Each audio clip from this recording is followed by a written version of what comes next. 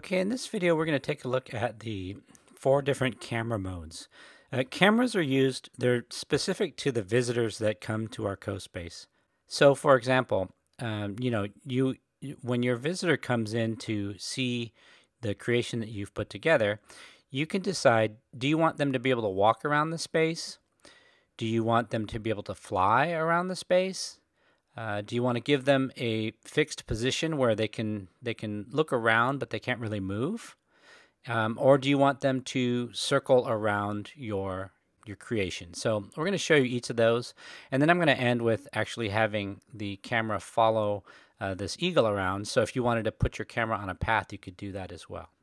All right. So every CoSpace starts with a one camera, and if you double click or right click on it, you get its details page.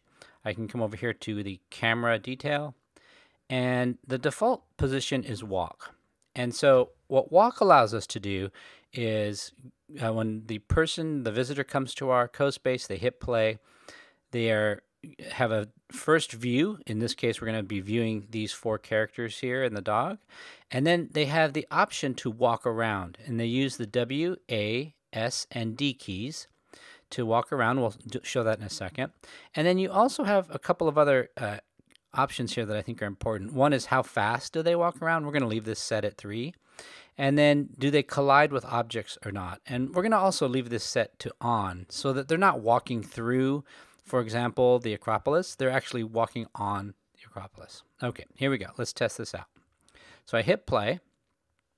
I can use my mouse or my trackpad to change the direction that I'm pointing.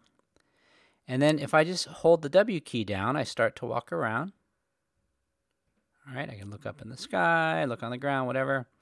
I can use the S key to move backwards, the A key to move to my left, and the D key to move to my right. And now because I have collision turned on, when I click on, or when I get to this um, spot here, I can't get on there unless I hit the space bar while I'm moving. Then if I hit the space bar, I could actually climb up or jump. That's what that's for. I can jump onto the area and work my way through the Acropolis. Okay, so that's walk. This, the next setting that's available in camera is uh, fly. So fly is similar to walk, same kind of uh, properties, the speed you can select as well as whether you actually collide into objects or not. And with fly, the difference is as I'm walking, I can point my mouse or my trackpad upward and actually take off. I go into flight. Now keep in mind that I can't go out there into the environment outside. If I keep going, it just it's, it's one point it's just going to stop. See? So I have to stay within my grid space, but once I'm inside it, pointing up or down actually changes my elevation up or down. So very similar to walk, just has the ability to get up in the air. All right, number three is going to be um, fixed position. So fixed position is what we used in the last video about seeing the bird in flight. If I were in fixed position, I can, for example, raise myself up.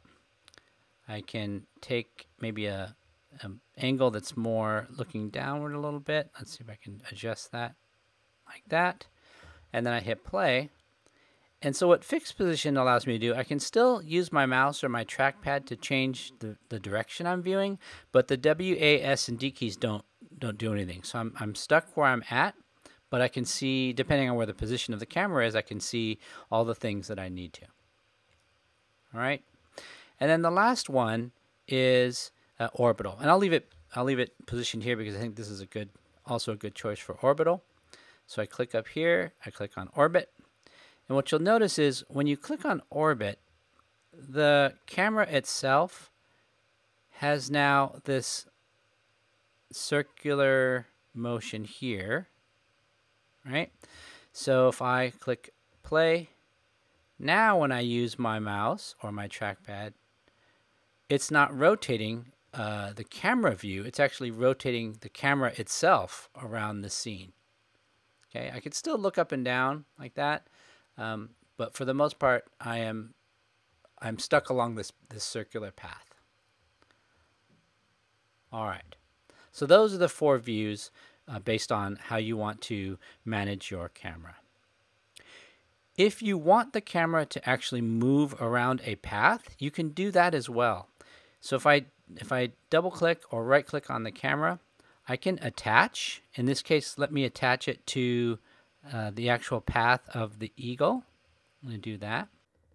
Don't forget to go to the camera details page and turn on code blocks for that camera. And if I come over to code, right, so that's when play is clicked, forever take the eagle along the round path. Well, if I want to make that um, include a camera as well, I'm going to come to controls and I'm going to find the control block for run parallel. And what that means is run two things at the same time. So I'm going to come over to my forever eagle movement. I'm going to duplicate this and I'm going to change it from eagle to camera. So now they're both going to move along the camera path or along the round path and they're going to be run at the same speed. I'm going to throw one of them into the first parallel and put the other one, including its forever statement, into the second parallel. So these two things will run at the same time. Let's see what that's like. So there we go. Now the person can still like choose how they want to view their the the direction, but they cannot move anywhere except along this path and at this speed. So again, if you're wanting to give someone a tour, but you don't want them necessarily to um, control where they're moving, you can set them along a path that you designate. Okay, and that's it for camera modes.